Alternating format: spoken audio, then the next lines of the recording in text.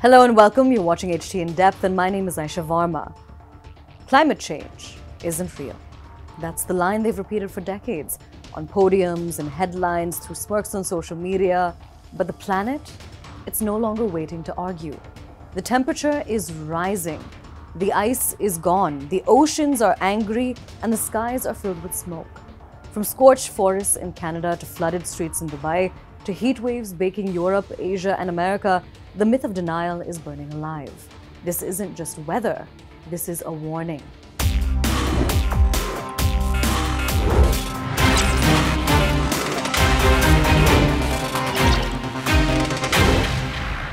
This is what happens when science is ignored and the truth is too hot to handle.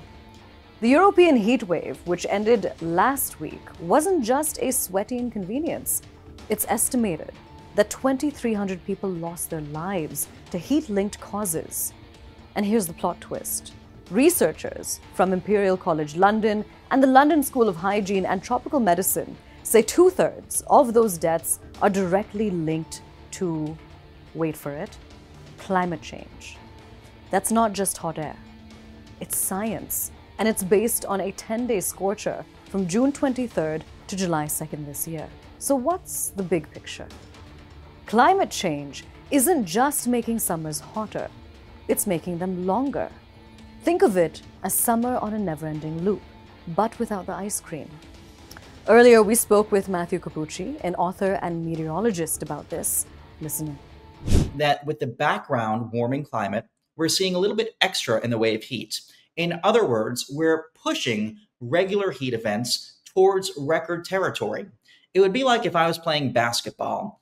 Every so often, I'd probably get a basket, I'd, I'd get a slam dunk.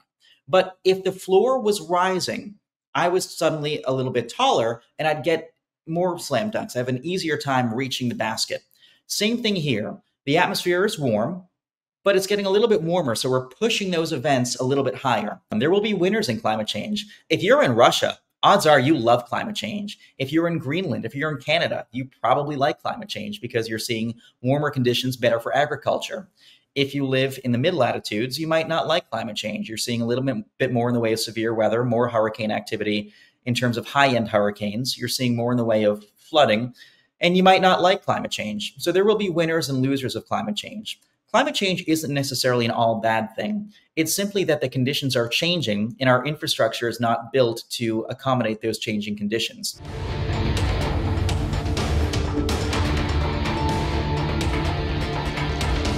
Scientists are unanimous. Heat waves are getting hotter, more frequent, and longer. In Europe, summer is no longer a three month fling. Thanks to climate change, cities like Athens and Tirana are now hosting summer for up to five months a year, according to a study by Climate Resilience for All. Now, this study looked at temperatures from 2019 to 2023 across 85 cities worldwide. Why exactly are longer summers a problem? Prolonged heat can overwhelm and shut down the body's natural cooling system, leading to heat exhaustion. Think fatigue, dizziness, nausea, and in severe cases, heat stroke, confusion, seizures, organ failure. Basically, your body's SOS signal. High temperatures mean more sweating, which means more dehydration, especially risky for kids and the elderly. Your heart has to work overtime to keep you cool, raising the risk of heart attacks and strokes. Hot, humid air and pollution it's bad news for anyone with asthma or breathing issues. Chronic heat can mess with your kidneys, increasing the risk of stones and even failure. This isn't just Europe's crisis, it's the planet's. A global study by World Weather Attribution, Climate Central, and the Red Cross Climate Center found that from May 2024 to May 2025, climate change at least doubled the number of extreme heat days in 195 out of 247 countries and territories. The World Meteorological Organization confirmed in March that 2024 was the hottest year on record and the first time that Earth's surface was more than 1.5 degrees Celsius above pre industrial averages. We spoke with Dr. Laurence, the Chief Science Advisor of Climate Resilience for All. Take a look. The question is what kind of climate change is causing the heat waves? Because there's several different kinds. Um, there's a kind we're all familiar with, which is the increase in trace gases in the atmosphere, where we have global warming because of more carbon dioxide and other gases. But then there's another one that I happen to think is more important at present, and that is the urban heat island effect. Uh, urban areas in all parts of the world are becoming more densely populated. More people are being crammed into smaller spaces. There is a more widespread use of air conditioning, which I believe also contributes to climate change and the urban heat island, because think of all the heat that is produced by air conditioning. And especially in Europe, where there's very little green space uh, in the cities and that much of the city is concrete, uh, this can exacerbate the situation. And I think that is one of the major regions, reasons why European heat waves have become worse. Cities have to develop adequate intervention activities um, in prior to any heat wave occurring so that all of the organizations that are important police, fire, emergency management, hospitals, and others are ready to deal with a heat wave. And many cities do not have adequate intervention plans, even if the heat warning systems are good. So there is the improvement of those systems, the heat warning systems, and the improvement of what we call intervention measures, what the city does when a heat emergency is called, both of which need to be improved. Most people die of heat not in the tropics, but in temperate areas where the climate is highly variable. So take a, a, city like London or Paris, more people die of the heat there than they would, let's say, in Singapore. And the reason is because London and Paris have these variable climates. It's cool, it's cool, it's cool. And then suddenly you get an excessively hot event, and that creates the problem. Small matters such as greening the city, adding reflective materials, uh, even to sidewalks now and to streets. There are people who are painting the streets white in urban areas to reflect more energy away from the city.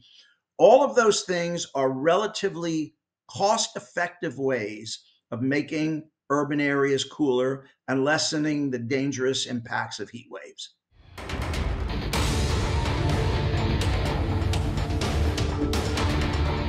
Which countries in Europe were the worst affected? Spain, specifically southern Spain, is basically a sauna, with temperatures hitting 46 degrees Celsius or 115 degrees Fahrenheit. Red heat warnings are out, and sadly, so are reports of heat related deaths.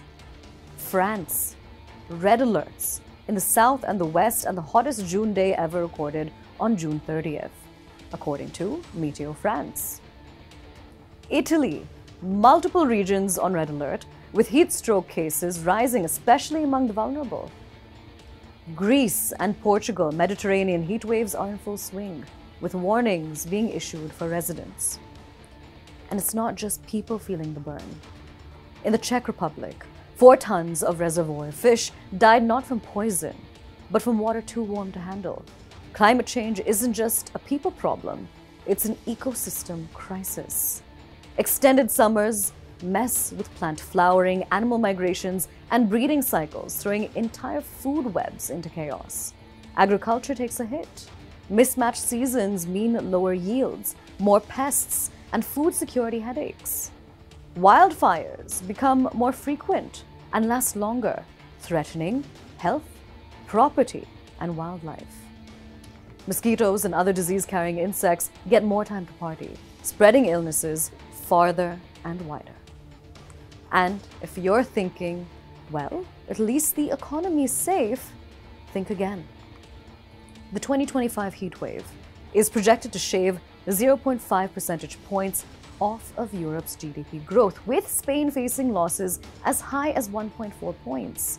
That's like losing half a day of work for every day above 32 degrees Celsius. So the next time someone says that climate change isn't real, just remind them it's so real, even the fish are sweating. And if we don't cool things down soon, we might all be looking for shade on Mars.